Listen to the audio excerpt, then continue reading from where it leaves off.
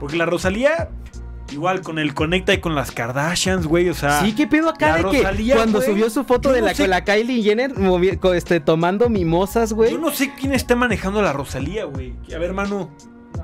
A ver, man- está manejando Manu la en, la- investigación. Pero ahí en tendríamos que estar nosotros. Así que, va- vámonos a, Re- si no a ver, y si Chile, no vamos a República Dominicana a buscar a la Rosalía.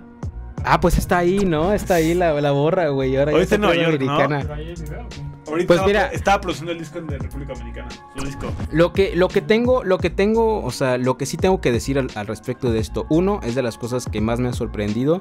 Lamentablemente, Rosalía no representa a un público latino. Ojalá hubiera sido de esa forma. Ah, que hagamos un paréntesis de los VMAs. ¿Qué pedo que, o sea, ganó mejor canción latina junto con Billie Eilish? Bill- o sea, o sea, esa, esa madre que, es algo que le, sea, es algo que yo siento que le puede pesar a Rosalía, que en algún momento como que lo platiqué yo con mi novia, que me dice como, güey, Rosalía trata tanto de ser latina. Y entiendo porque igual es como la música con la que creció, ¿no?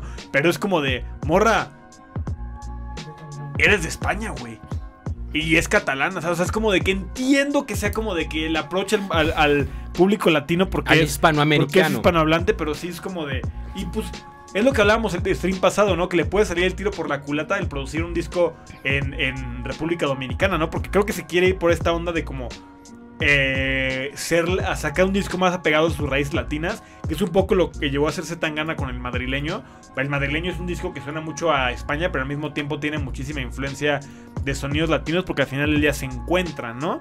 Pero Pero además de todo, además de todo, güey, tomemos en cuenta que el Z Tangana, güey, sí hizo un approach e hizo una investigación porque hizo lo que hizo a través de artistas que representan ese género, güey. Sí, pues por eso está la Rosalía en República Dominicana, evidentemente, ¿no? O sea, se la doy porque lo está intentando, ¿no? Que es como lo que le estamos criticando a Balvin, que es, que es como que no lo está intentando. Rosalía eh, puede estar, o sea, ahorita con, con Toquisha, güey, está haciendo un approach más como a esos, esos sonidos caribeños y lo está intentando, ¿sabes?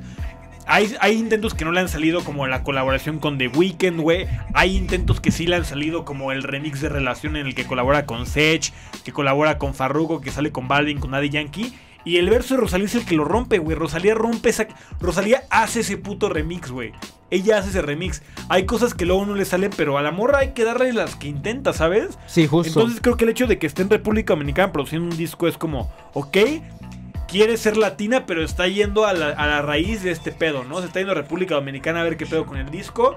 Es un movimiento arriesgado que le puede salir muy bien o que le puede salir muy mal. Yo creo que le, yo creería que le puede salir muy bien porque, güey, o sea, hay cosas que he intentado como por ejemplo lo que dijimos ahorita, Higher in the, Higher in the Room con Travis Scott, eh, pero Tekken está buena. sí, justo. ¿Sabes? Este.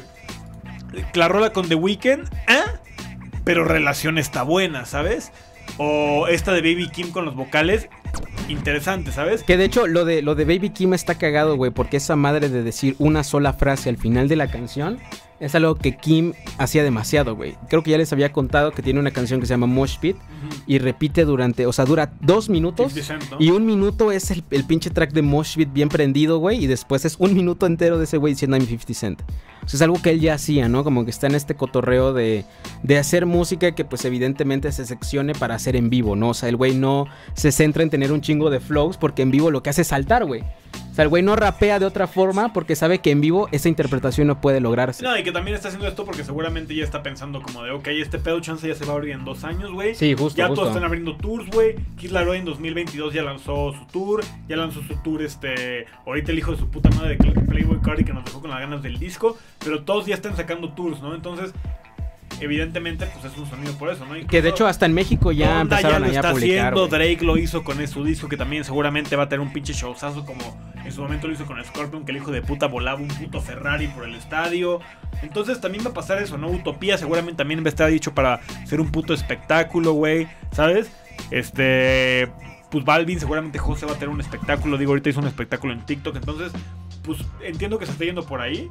Está 1.20. interesante, ¿eh? Ajá, 1.20 ya. 1.20, este, pero sí, yo, yo creo que a- a- hay que estar este, atento de lo que pueda hacer Rosalía, porque creo que let's not sleep on her, ¿sabes? O sea, Sí, no, no, no, o sea, para nada. O sea, yo creo que la opinión certera de la Rosalía en este momento es, es la morra que si bien no, no, tendríamos que entender como consumidores, güey, que hay una limitación en los artistas para involucrarse en otros terrenos. En este momento es Rosalía, se encontró con el tema de la, apropiación cultural, se le criticó demasiado, en este momento se fue a la raíz para producir un sonido así porque entendió que hay procesos para lograrlo, a diferencia del madrileño que se construyó, que se construyó alrededor de estos artistas, ¿sabes?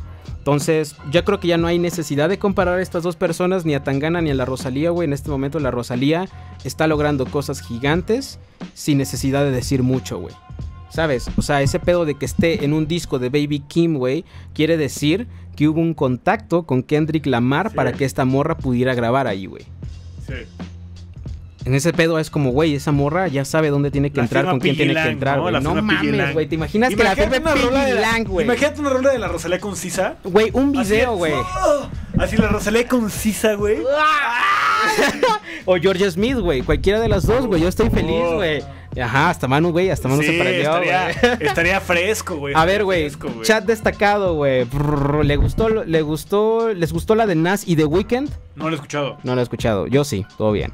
Eh, De hecho, no he escuchado el King's is Dead. Tú, tengo que escucharlo. He escuchado eh, es muy bueno, es muy bueno. O sea, la neta es de los discos más infravalorados Sí, del año, for sure, Sí, güey. el, a el- de el Lam verso, decir como... "Uf, el, vers- el verso de Lauryn Hill, qué pedo, güey. Qué pedo, güey. A ver, el Leosh dice, ¿qué expectativas tienes de Montero, güey? Este... ¿Buenas o malas, güey? No, creo que va a ser un buen disco de rap pop. Sí, yo, yo, lo, yo lo veo como un Tiene disco de buenos pop. features, güey. O sea, ¿sabes algo? ¿Sabes al- alguien que me interesa últimamente mucho? Doja Cat. Ok, Me llama mucho la atención. O sea, siento que Doja Cat es como la Lady Gaga de nuestros tiempos. a la verga. O sea, sí tiene mucha influencia. O sea, no, no, no tan cabrón porque Lady Gaga es mucho más versátil. Pero sí en el imaginario que tiene. Tengo que escuchar Planet Hair. Pero, güey, este. Creo que trae. Trae coco la morra, ¿sabes? Ok,